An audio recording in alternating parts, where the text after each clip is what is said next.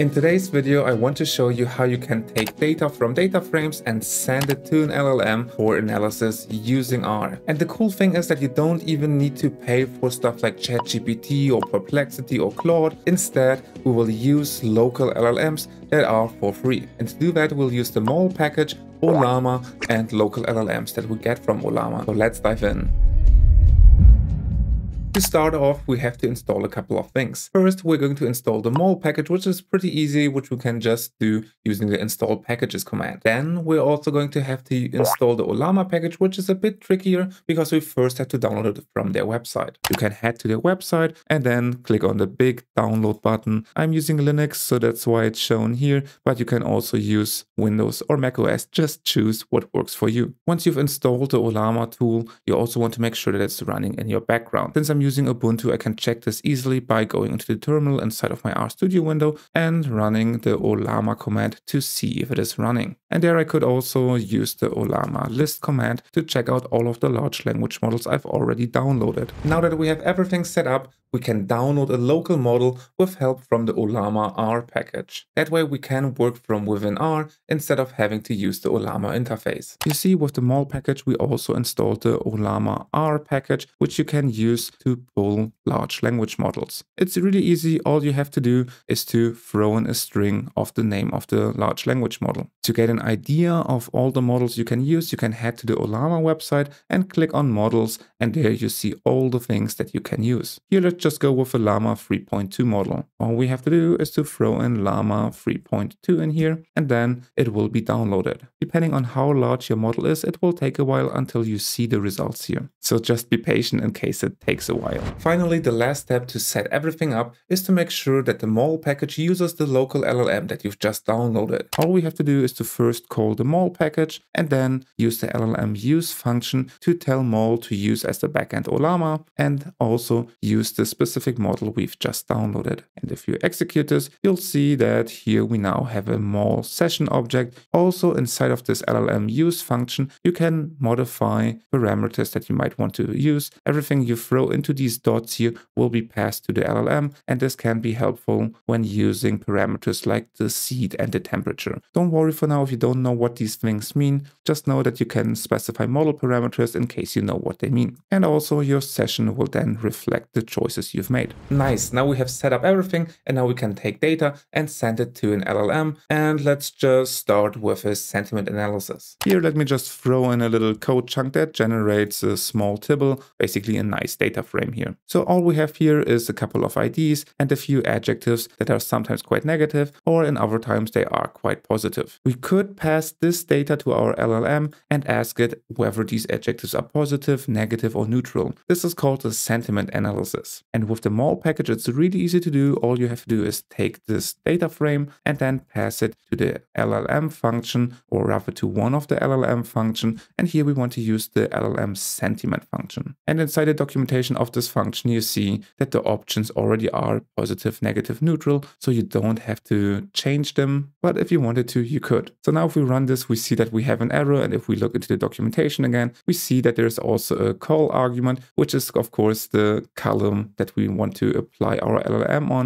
So we have to specify that the column we want to use is the adjective here. And once we do that, we see that our calculation is running. It took a bit and now we have the results here. So the LLM detected here that painful is probably negative, hungry is also negative, cheerful is positive, and exciting is also a positive thing. So that was pretty straightforward. Let's go for a bit more complicated example. Let's just create a new code chunk and in there let's throw in a new data set. Let's just throw this in here. This is a data set that just has five fruits in there. And now it might be interesting to find out whether an LLM can match colors to these fruits here. So let's take our data and pass it to one of the LLM functions. And here what could be useful is the LLM classify function that allows us to classify fruits into particular colors. So just like before, we specify that we want to target a particular column. Here it is the fruit column. And then if we look into the documentation, we see that we need to specify the labels. All right, so let's do that. Here, let's just go with the colors red, green, blue, and yellow. And now if we run this, then we see that we don't get particularly nice results. For apple and banana, we didn't even get a value back. That's not particularly nice, and I think that a banana is a clear-cut example of a yellow thing, but I guess our LLM here was not powerful enough for that. So what we could do instead is to just change the model here. For example, we could use a Llama 3.1 model, which has more parameters than the small Llama 3.2 models. They come in sizes 1 billion and 3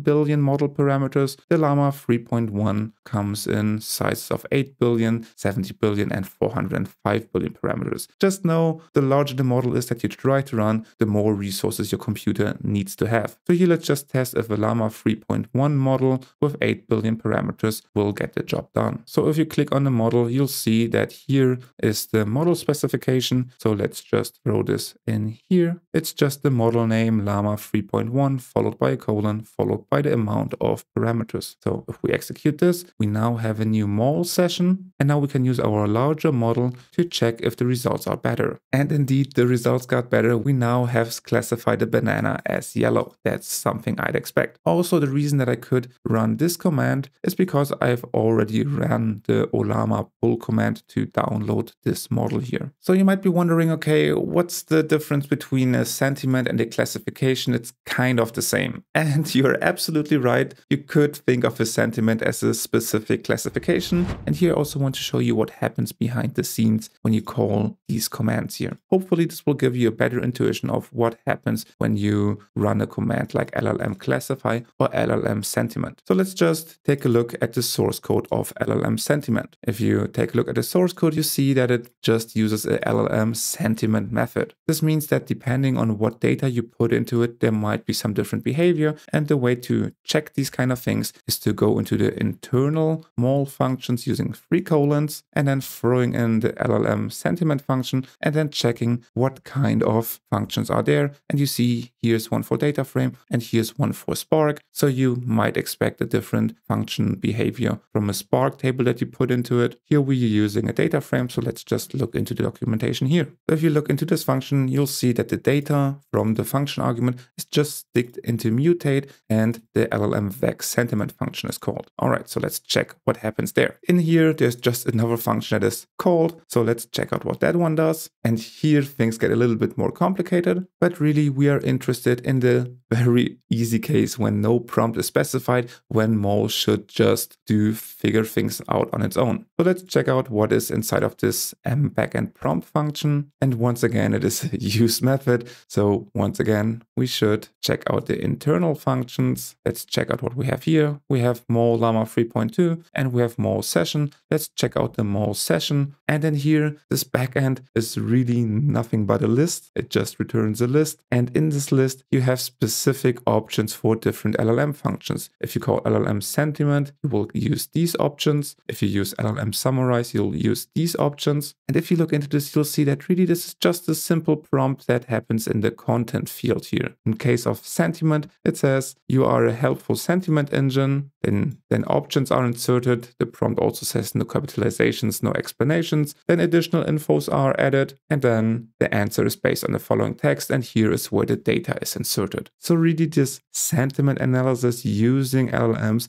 is just throwing your data into a prompt, doing that programmatically with the glue function, and then it's passed to the LLM to do its thing. And the same thing happens with the classification. The only real difference is here that it says you are a helpful classification engine instead of your helpful sentiment engine. But all the other stuff is just the same thing. So at the end, using LLMs with the mall package really does nothing more than enrich your prompts with data using functions like glue and paste to, first assemble a prompt with your data and then throw that to the LLM. So I hope this gave you a nice idea of how to use AI with your data. Definitely check out the other examples from the mall documentation. If you enjoyed this video, then I'm sure that you're also going to enjoy the other videos from my AI series. Make sure to subscribe if you haven't already to get all the new videos from that series. And with that said, I say thank you for watching and I will see you next time.